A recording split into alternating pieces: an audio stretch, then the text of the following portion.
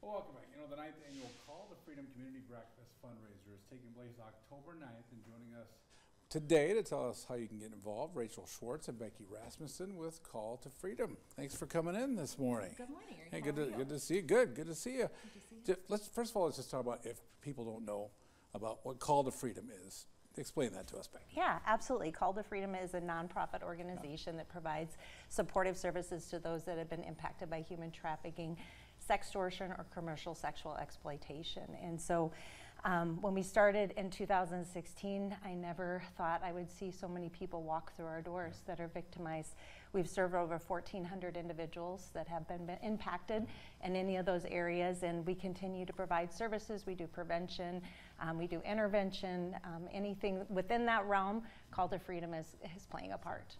Let's talk about the event, October 9th, just uh, um, what it's all about and how people can get involved. Yeah, we're so excited to have our ninth annual community breakfast. Uh, so it's Call to Freedom's uh, single annual fundraising event where uh, we really need a lot of resources to fund the, the- as Becky said, the rapid rate, unfortunately, at which we're seeing clients walk through our doors. But so much more than that. It's really just an uplifting community event. The name really says it all, where it's just palpable the passion that the community has for this issue and just to indicate their support for survivors. It's my favorite event of the year uh, where you get to hear directly from survivors their stories where um, you're going to hear from one survivor this year whose journey is she has more courage and resilience than most of us could ever imagine it's just incredible to be a part of each year Where's it at?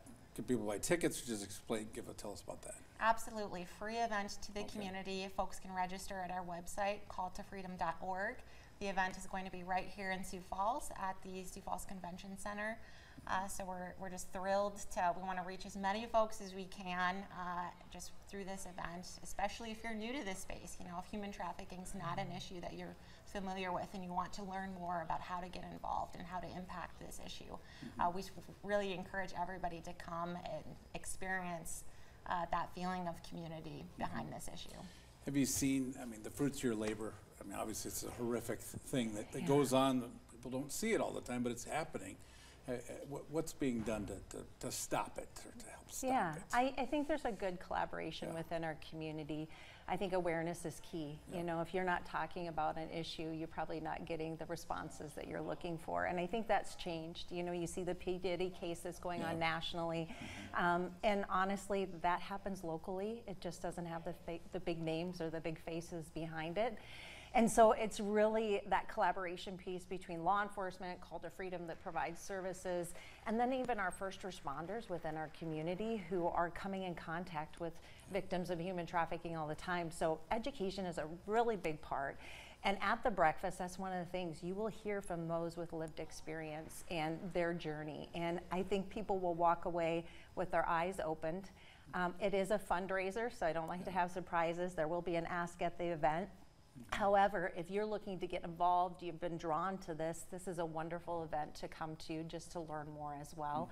And you can go to calltofreedom.org. Um, we do have to register before the event, um, and that'll probably close by Monday. So Okay. make sure So to do it get on the soon. site and, and get that done. But I want to give you a gift, Oh, if that's thank all right. you. Yeah, Yes. absolutely. So this morning we have a Freedom Candle, which our partners at Freedom Studios you.